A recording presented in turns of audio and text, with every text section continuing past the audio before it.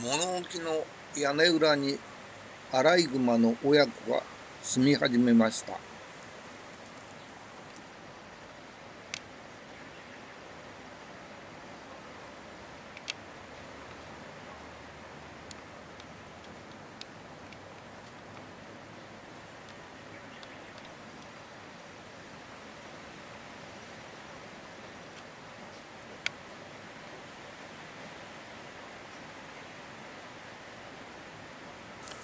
3匹の子供を確認しました。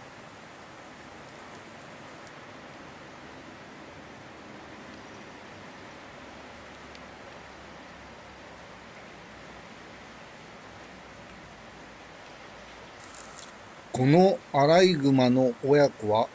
数日前に取り壊した家屋の屋根裏に住んでいた親子です。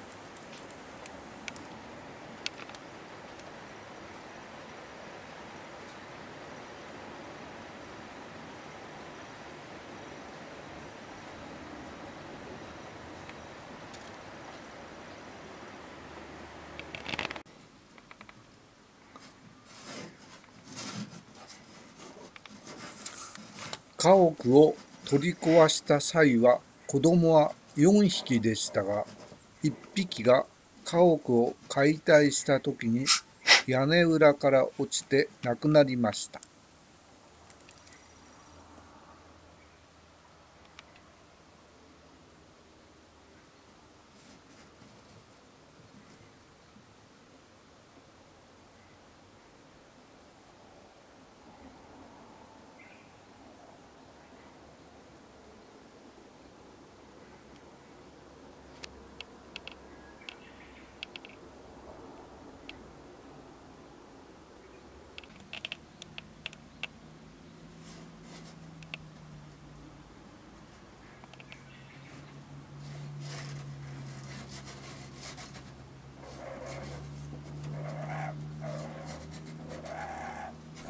家屋を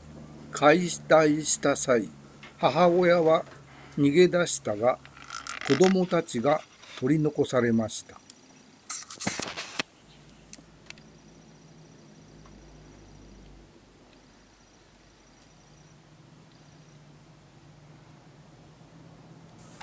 取り残された子供たちを解体現場の脇に茅を敷き水を入れた鉢を置き母親が迎えに来るのを待ちました。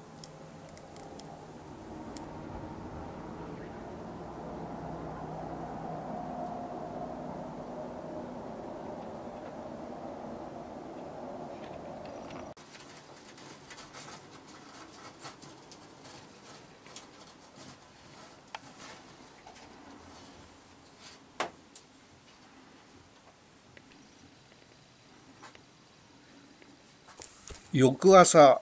子供たちを見に行くと母親が迎えに来たのか子供たちはいませんでした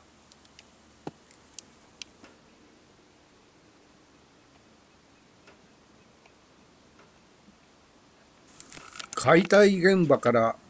この場所まで300メートルほどしか離れていません。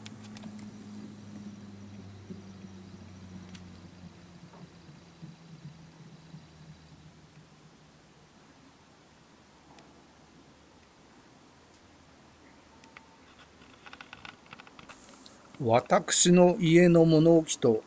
分かって住み着いたのか不思議ですよ。